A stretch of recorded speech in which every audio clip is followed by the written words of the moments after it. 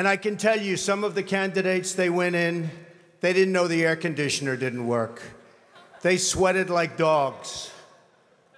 They didn't know the room was too big because they didn't have anybody there. How are they going to beat ISIS? I don't think it's going to happen. When did we beat Japan at anything? They send their cars over by the millions. And what do we do? When was the last time you saw a Chevrolet in Tokyo? It doesn't exist, folks. They beat us all the time. When do we beat Mexico at the border? They're laughing at us, at our stupidity. And now they're beating us economically. They are not our friend, believe me. But they're killing us economically. When Mexico sends its people, they're not sending their best. They're not sending you. They're not sending you. They're sending people that have lots of problems, and they're bringing those problems with us. They're bringing drugs, they're bringing crime, they're rapists, and some, I assume, are good people. But I speak to border guards, and they tell us what we're getting. And it only makes common sense. It only makes common sense. They're sending us not the right people. It's coming from more than Mexico. It's coming from all over South and Latin America, and it's coming probably, probably from the Middle East. But we don't know because we have no protection and we have no competence. We don't know what's happening. Islamic terrorism is eating up large portions of the Middle East. They become rich. I'm in competition with them. They just built a hotel in Syria. Can you believe this? They built a hotel. When I have to build a hotel, I pay interest. They don't have to pay interest because they took the oil that when we left Iraq, I said we should have taken. So now ISIS has the oil. And what they don't have, Iran has. Last quarter, it was just announced, our gross domestic product, a sign of strength, right? But not for us. It was below zero. Who ever heard of this? It's never below zero. Our labor participation rate was the worst since 1978 but think of it GDP below zero, horrible labor participation rate. And our real unemployment is anywhere from 18 to 20%. Don't believe the 5.6. Don't believe it. That's right, a lot of people up there can't get jobs.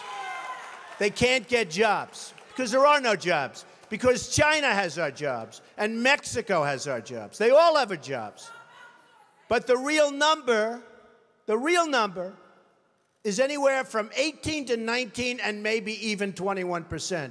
And nobody talks about it because it's a statistic that's full of nonsense. Our enemies are getting stronger and stronger by the day, and we as a country are getting weaker. Even our nuclear arsenal doesn't work. It came out recently they have equipment that's 30 years old. They don't even know if it worked. And I thought it was horrible when it was broadcast on television because, boy, does that send signals to Putin and all of the other people that look at us and they say, that is a group of people and that is a nation that truly has no clue. They don't know what they're doing. They don't know what they're doing. Obamacare kicks in in 2016. Really big league. It is going to be amazingly destructive. Doctors are quitting. I have a friend who's a doctor, and he said to me the other day, Donald, I never saw anything like it. I have more accountants than I have nurses. It's a disaster. My patients are beside themselves. They had a plan that was good, they have no plan now. We have to repeal Obamacare, and it can re be replaced. And, and it can be replaced with something much better for everybody. Let it be for everybody, but much better and much less expensive for people and for the government. and we can do it. The greatest jobs president that God ever created. I tell you that.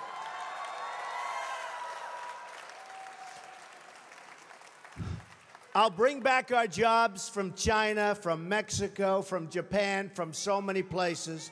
I'll bring back our jobs and I'll bring back our money. Right now, think of this we owe China $1.3 trillion. We owe Japan more than that. So they come in, they take our jobs, they take our money, and then they loan us back the money, and we pay them an interest. And then the dollar goes up, so their deal's even better. How stupid are our leaders? How stupid are these politicians to allow this to happen? How stupid are they? They're building up their military to a point that is very scary. You have a problem with ISIS, you have a bigger problem with China. And in my opinion, the new China, believe it or not, in terms of trade, is Mexico. Ford, good company, so I announced that I'm running for president. I would, one of the early things I would do, probably before I even got in, and I wouldn't even use, you know, I have, I know the smartest negotiators in the world, but I know the best negotiators in the world, and I'd put them one for each country. Believe me, folks, we will do very, very well. Very, very well. But I wouldn't even waste my time with this one. I would call up the head of Ford, who I know, if I was president. I'd say, Congratulations. I understand that you're building a nice $2.5 billion car factory in Mexico, and that you're going to take your cars and sell them to the United States, zero tax, just flow them across the border. And you say to yourself, How does that help us, right? How does that help us? Where is that good? It's not. So I'd say, Congratulations, that's the good news. Let me give you the bad news. Every car and every truck and every part manufactured in this plant that comes across the border, we're going to charge you a 35% tax. Okay? And that tax is going to be paid simultaneously with the transaction. And that's it. Because I don't need anybody's money. It's nice. I don't need anybody's money. I'm using my own money. I'm not using the lobbyists. I'm not using donors. I don't care. I'm really rich. I'll show you that in a second. And by the way, I'm not even saying that in a brag. That's the kind of mindset, that's the kind of thinking you need for this country. So, because we got to make the country rich, it sounds crass. Somebody said, oh, that's crass. It's not crass. We got 18 trillion in debt. We got nothing but problems. We got a military that needs equipment all over the place. We got nuclear weapons that are obsolete. We've got nothing. We got Social Security that's going to be destroyed if somebody like me doesn't bring money into the country. All these other people want to cut the hell out of it. I'm not going to cut it at all. I'm going to bring money in and we're going to save it. But here's what's going to happen. After I'm called by 30 friends of mine who contributed to different campaigns. After I'm called by all of the special interests and by the, the donors and by the lobbyists, and they have zero chance at convincing me, zero. I'll get a call the next day from the head of Ford. He'll say, please reconsider. I'll say, no.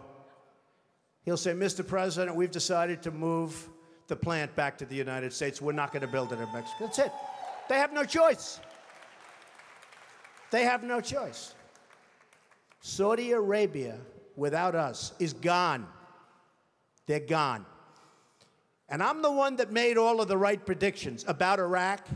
You know, all of these politicians that I'm running against now, I, it's so nice to say I'm running as opposed to if I run, if I run. I'm running.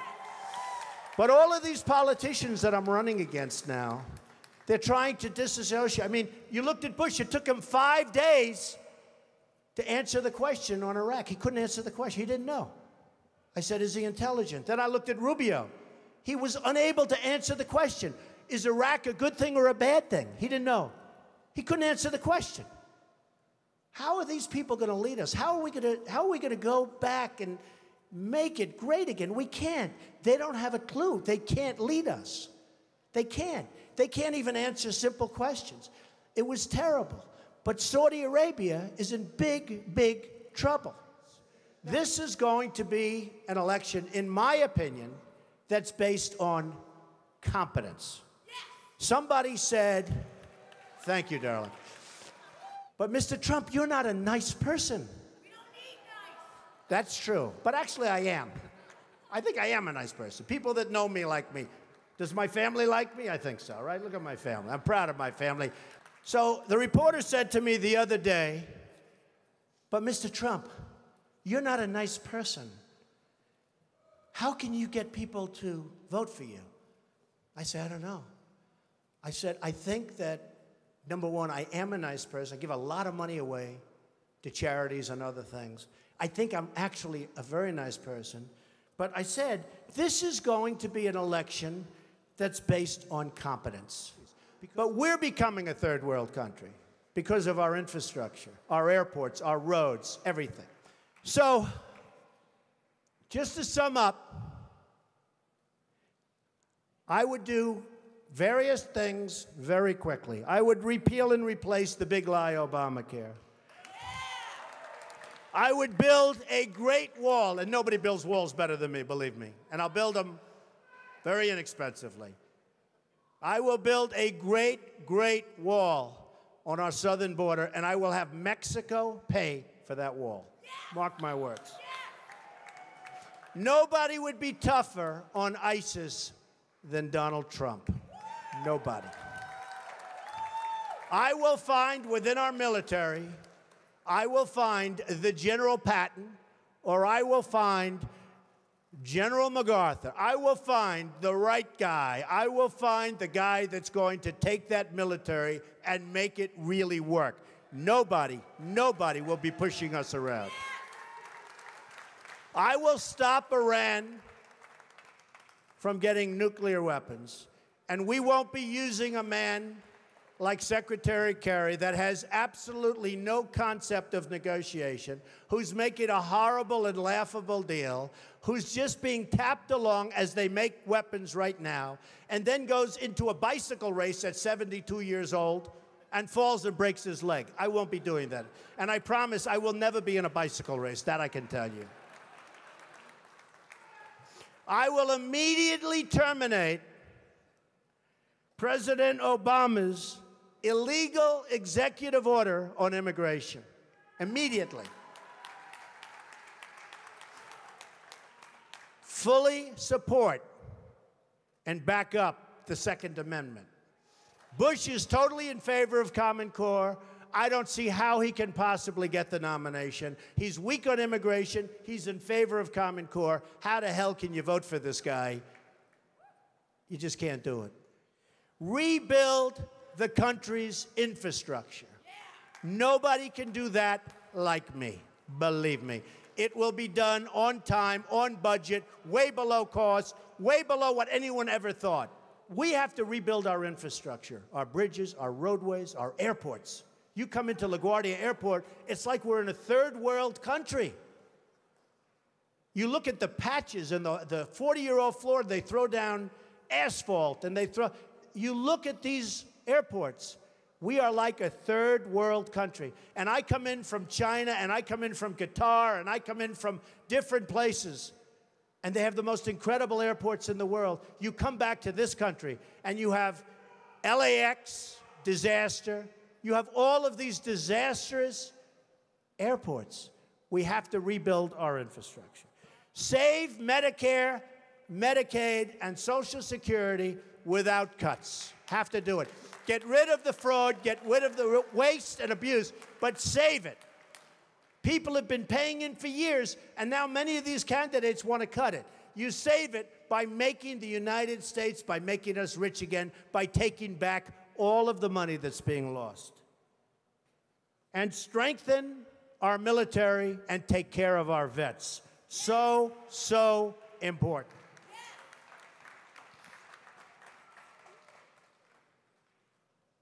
Sadly, the American dream is dead. But if I get elected president, I will bring it back bigger and better and stronger than ever before, and we will make America great again. Thank you. Thank you very much.